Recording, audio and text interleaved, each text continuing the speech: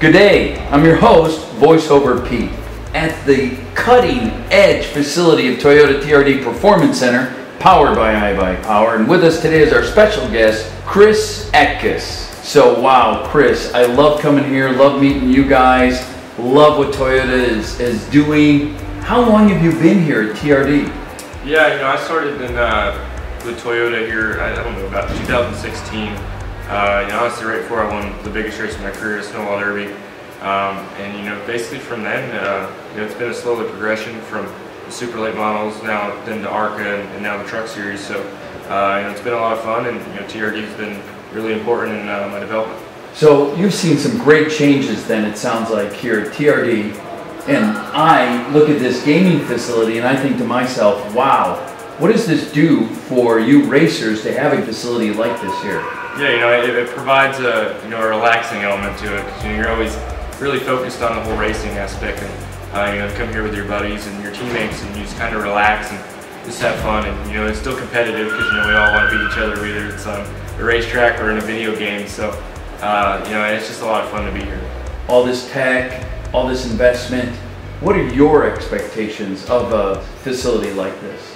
Uh, you know, this, this place is awesome. Uh, you know, it's definitely more than we could have expected for sure. Um, you know, because we first started out in like a storage facility working out, and then uh, you know this turned into like a huge place where we have all this good stuff, and, and we can work out here and stuff like that. It's just really it's it's cool to be just such a part of a great facility like this. So after several years under your belt here, how much travel do they have you do? Yeah, you know, we travel. I don't know about like this year. I have 27 races. And, there's really none that's you know close to be honest. You know they're all within the three to 20 hours away. Uh, you know it's, it's kind of fun to be able to you know travel around the world and, and do what you love. To be honest, it's, uh, it's I've always loved racing, and you know it's the same thing with TRD. How long have you been racing? Uh, I honestly like compared to others, I got a later start. Um, you know, it's kind of crazy. I started at 10, but you know, some of these guys started at four years old. And you know, I started in Bandoleros when I was 10 years old in 2011, and, and it's been a slow progression from the Bandoleros to Legend cars and late models, ARCA, and trucks. So, uh, you know, I, I, think I have a pretty solid career so far, and you know, hopefully it just keeps going up. That's what we all want. So, okay, you're obviously very committed, disciplined, busy into this. In your free time, what do you do?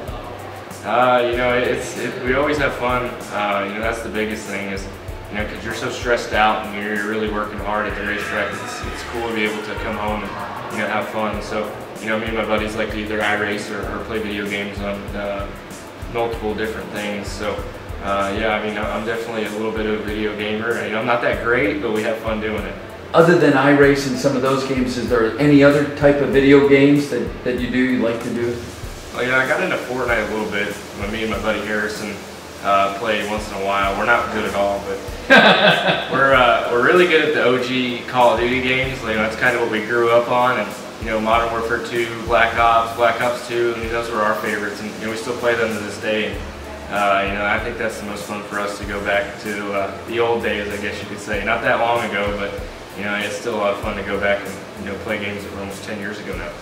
I was able to, to sit into the uh, simulator, and you may want to check my stats and try to break them.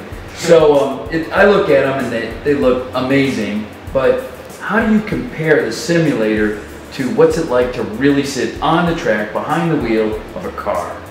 Yeah, you know, it's a little bit different just the aspect you really can't feel the car through your body like you do in a race car. You, know, you go down in the corner and your body really takes a lot of lateral load and uh, you, know, you really can't get that the just sitting there. Yeah. Right. So I mean, you could still you know feel a lot through the steering wheel, and it helps a lot as far as you know going to the racetrack and knowing where everything is. But in the same aspect, you're not going to get the exact same feeling just because it's not an actual race car.